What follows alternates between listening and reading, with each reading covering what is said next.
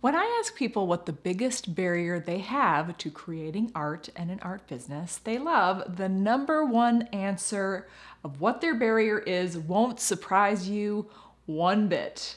It's time. We are ambitious creators that also have lives, full lives, with children and partners and other jobs and houses to clean and bodies to take to the gym. And we run out of time very quickly. The reason I think about this a lot is because my brain is pretty much completely full of butterflies, and I like to flit and fly around, and it's very hard for me to focus and drill down into dedicated task completion. So I've had to learn a few things so that I can actually accomplish anything.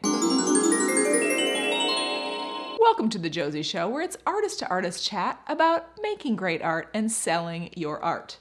I love to help artists because I think creatives should get paid. I have a private coaching community called Art Revenue Coaching where I create training and community to help artists. One of the things we talk about a lot in that membership is time. I actually created a full training about artist productivity that is inside the membership, and you should consider joining because I have a lot of great resources in there. And not for nothing, you can get some incredible benefits inside the membership in just 10 minutes a day. The doors will be open again soon, and you can add your name to the waiting list at josielewis.com slash arc. Time management is different for creatives than other people. One of the reasons this is true is because of flow. Artists are better than the average person at getting into flow. Flow is that state of effortless enjoyment that makes time go so fast.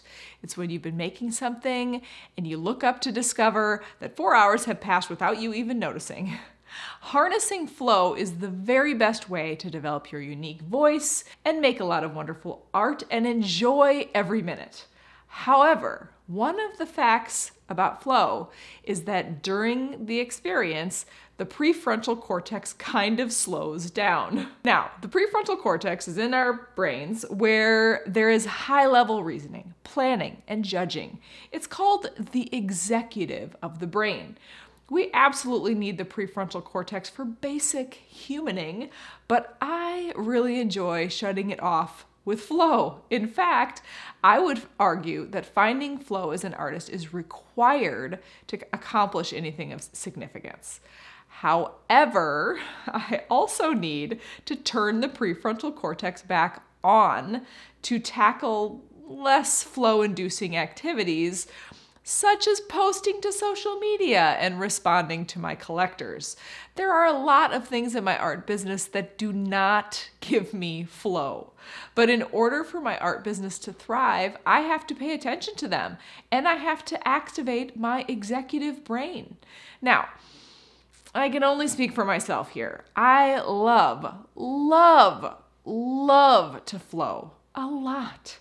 And I do not necessarily have an orderly, sensible mind when it comes to all that other stuff. Sometimes I can spend too much time on the flow side and neglect the practical stuff.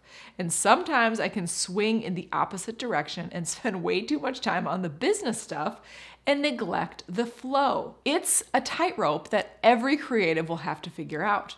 For me, I dedicate the first few hours of the day to flow tasks such as writing, then the next few hours to admin and business, then afternoons and evenings to creative time blocking.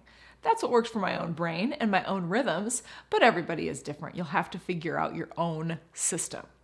Wherever possible, I try to transform my non flow tasks, my executive tasks, into habitual actions that happen in the same way, around the same time, in the same manner.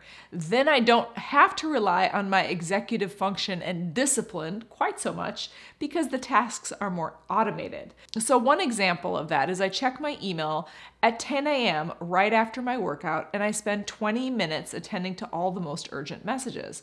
I do that every day and I don't have to think about doing it, I just do it. Another thing I do every day is take a look at my QuickBooks accounting system because I like to keep track of my finances and my expenses. Doing it every day helps me manage my business in a more regulated way.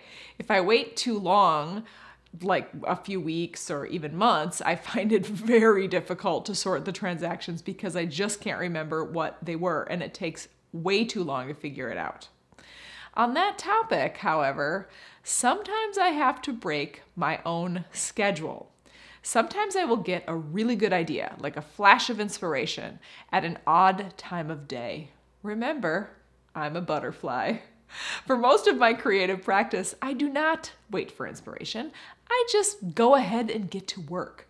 But when the inspiration wanders in, I have learned to strike while the iron is hot because sometimes those ideas come in and I think, okay, okay, I'll get to you soon. Just hang on a second. But when I revisit it later, the energy has left. So if I can, I try to make at least a few notes or some quick sketches so I don't lose the essence of the inspirational idea. My last tip is this understand that most people can accomplish far less than they think in one day, but far more than they think in one year. James Clear, the author of Atomic Habits, one of my favorite books, suggests that we should strive to get 1% better every day, a very modest goal.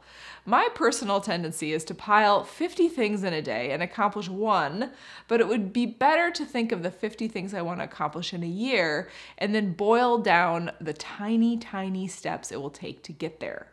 So I really try to think in terms of long term goals and then make lists out of all the tasks down to the most mundane that will help me accomplish the goal. I call these destination goals and process goals.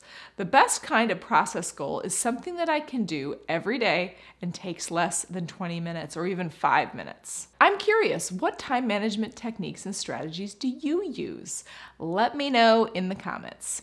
Also, if you are interested in going deeper with me, the doors to art revenue coaching will be open soon, and we have amazing resources and community and live calls with me to help you build an amazing art business. Go to josielewis.com slash ARC, that's A-R-C, to get more info and sign up for the waiting list to get an invite as soon as we open.